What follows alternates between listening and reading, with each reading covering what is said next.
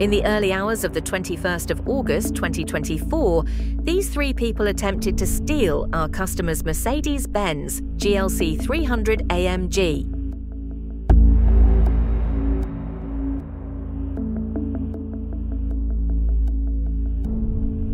With the global telemetrics, no tag, no start system, vehicles will not start unless our driver detection cards are present. Even if a key is cloned or with the vehicle, without the card, the vehicle will not start.